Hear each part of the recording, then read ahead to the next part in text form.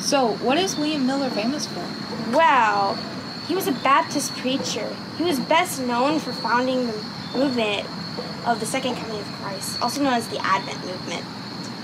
This movement, which was started by him, he was he was deeply concerned about the questions of death and an afterlife. So, how did he answer these questions? Well, through much prayer and Bible studies, he discovered the truths about a second coming of our Savior in Daniel chapter 8. This was about the 2300 day prophecy. He unfortunately didn't tell it to the world right away. He wrestled with God for 13 years before he told it to them. However, unfortunately, he didn't quite interpret the scriptures in the way that we know it today.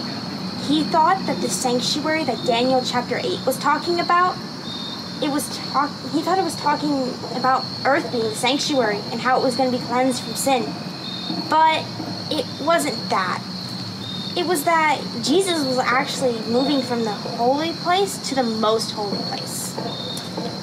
But many people still believe that the second coming and so on October 22nd, 1844, the Great Disappointment happened.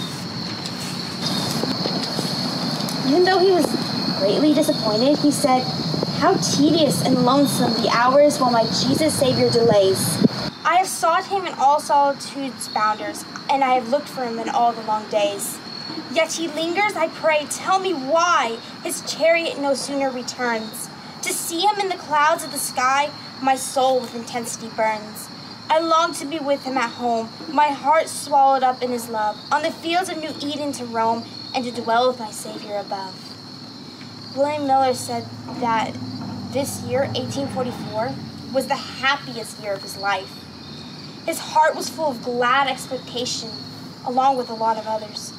But he had pity on those who discouraged who were discouraged and had no hope in Jesus after this. Even after the great disappointment, he wrote these words I have fixed my mind on another time, on another time. And here I mean to stand until my God gives me more light.